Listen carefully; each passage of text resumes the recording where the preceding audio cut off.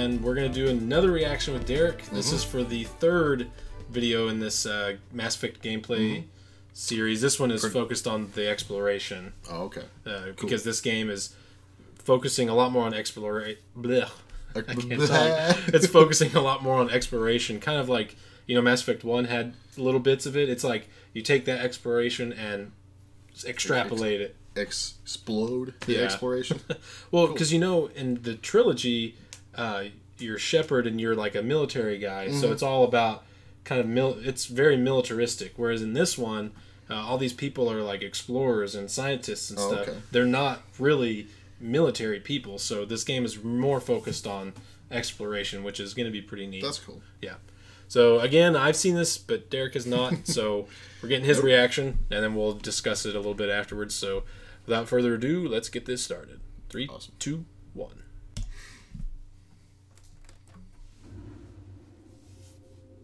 Welcome back to the Mass Effect Andromeda gameplay series.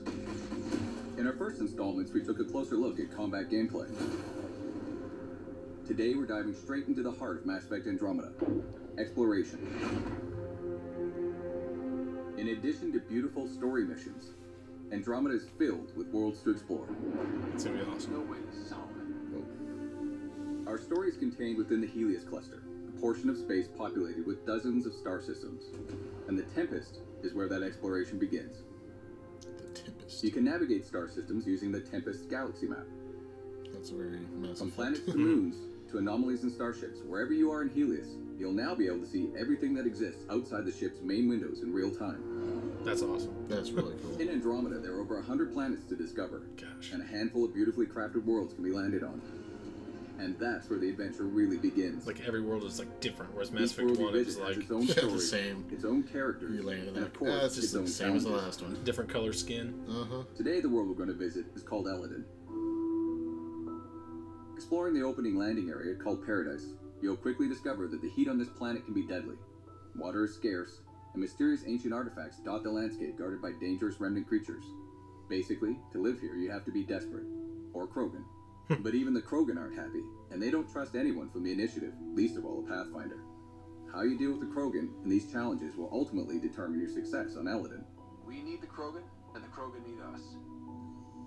Before you set out, you'll get an update from your AI, pointing out key locations. The Remnant monolith suggests this was indeed supposed to be a golden world.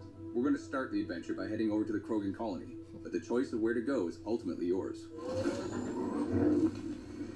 It's like the new and improved Mako. Oh, nice. Our all-terrain rover, the Nomad, is key to quickly covering the expansive landscapes throughout Yeah, see, Andromeda. got the heat hazard. You can also down enhance the Nomad with a series of functional upgrades designed to give you better turbo boost, That's higher awesome. jumps, Couldn't really better do that handling, with and more. the uh, Mako. While you're exploring, one of the key Mako was objectives will kind be to discover pointless. locations And you can bring this thing down. stations.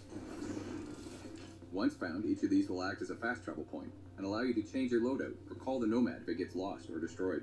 They also offer resupply and protection from any environmental hazards. That's pretty cool too. Our conversations with the Krogan colony point us in a few directions. Exiles are causing trouble at their base, the Flophouse, Flophouse. and a derelict remnant ship may have a drive core the Krogan are in desperate need of. Let's head to that ship and see what we can find. Out here, we are more exposed to the heat.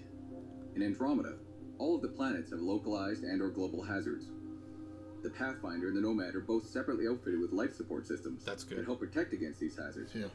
So it's once like you run out, you'll need to find a safe location or a forward station to recharge. The uh, I'm reading a normal vehicle's on fire. As you travel throughout the world, you'll find new areas to explore, new characters, and new storylines.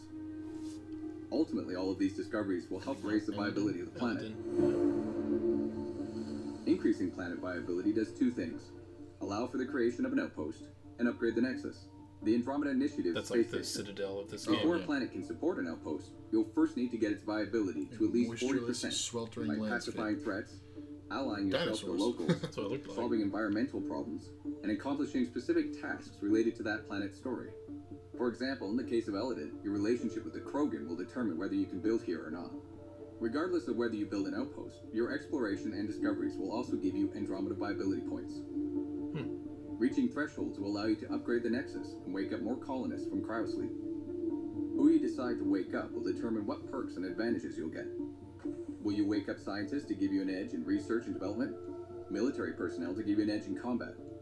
Or merchants That to give thing, you a that's leg up in pretty neat too.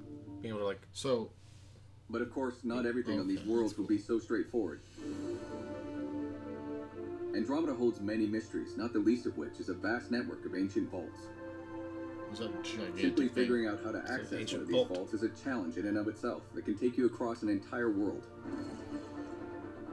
Once inside, you'll need to rely on skills from every element of Andromeda gameplay, including Well, exploration, that- that's not gonna well. environmental navigation, puzzle solving, and combat to get them back online, and then make it out alive. And resolving the mystery of these vaults may just hold the key to survival in Andromeda. This is unbelievable.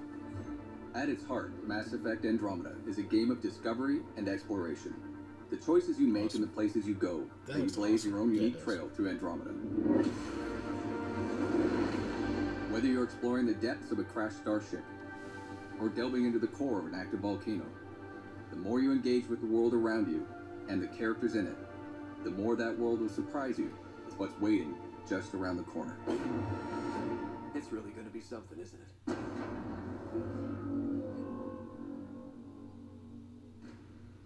I really like how each world is actually a different thing, Well, has its own unique oh yeah, like environments and hazards. and you know, like watching that, you wouldn't even like. It's not even the same sort of game as what the other vi- videos where it's like a completely different. Right. Like you wouldn't even guess you were playing the same game. because it's all yeah all the exploration. you, you explore, and then you have the you know that's a completely different side of it. Like, Mhm. that's pretty neat. I like that side of it too. Yeah. it kind of takes you away from the craziness of the battlefield, I guess. Yeah, I think it's gonna be. calm it down a little bit. I think it's gonna be really fun. Oh yeah, Uh, again, we've only got a couple of weeks to go, Mhm. and we'll get to try it out for ourselves. But uh, yeah, I think just the exploration and you know you've got this little scanner tool that you can like scan stuff in front of you. it's awesome. Um, you can do the planet probing again, kind of like you did in Mass Effect Two. oh, you get like remember how- materials from it. You remember how cumbersome that was in Mass Oh, Effect yeah. 2, though? I remember having really to spend bad. like a couple hours just dropping probes on planets to get all these elements. Mhm, That was Um, I think there's a portion of that. You can also get elements from being down on the planet